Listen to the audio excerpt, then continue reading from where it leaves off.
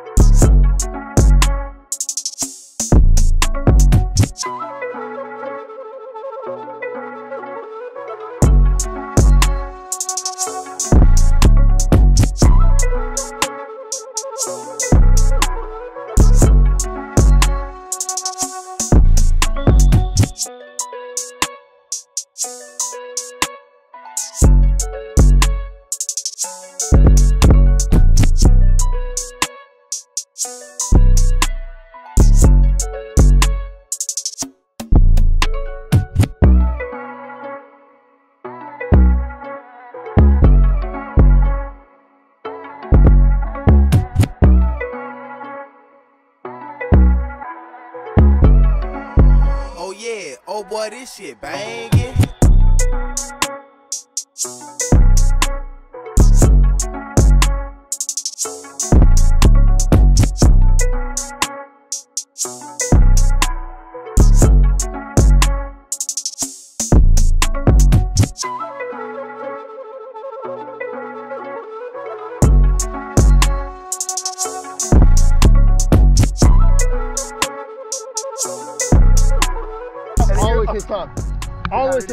Yo, my computer started beeping. It started going. I'm actually happy. I'm really happy with my. I.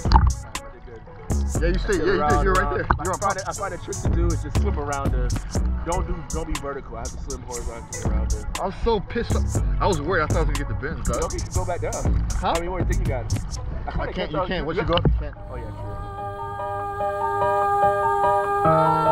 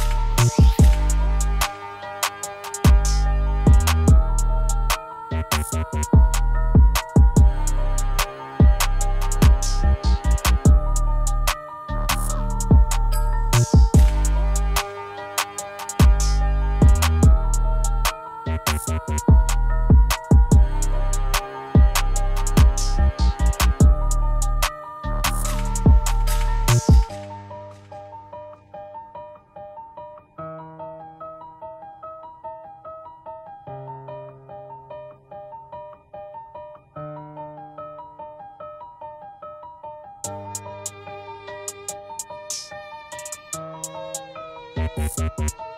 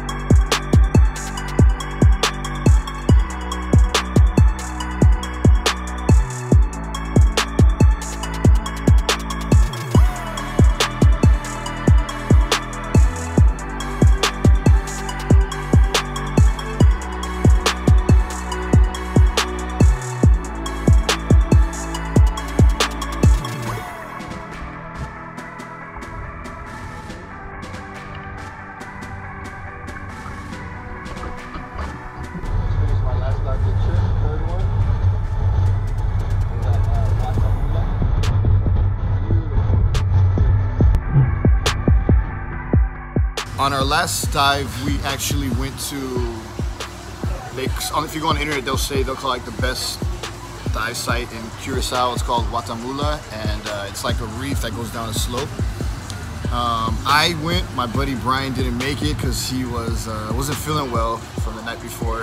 Uh, this was an afternoon dive, and on this dive I got down to about 63 feet, which so was the deepest dive that I've done uh, here while in Curacao. But it was absolutely gorgeous. The reef was amazing. There's fish uh, everywhere. We actually had a couple that was diving that actually went line fishing, line fish, spear fishing. Um, they caught a couple of couple of spear uh, lionfish. Um, I've actually never had lionfish, but hopefully on my next trip I can I can experience that because I also want to do spearfishing as well.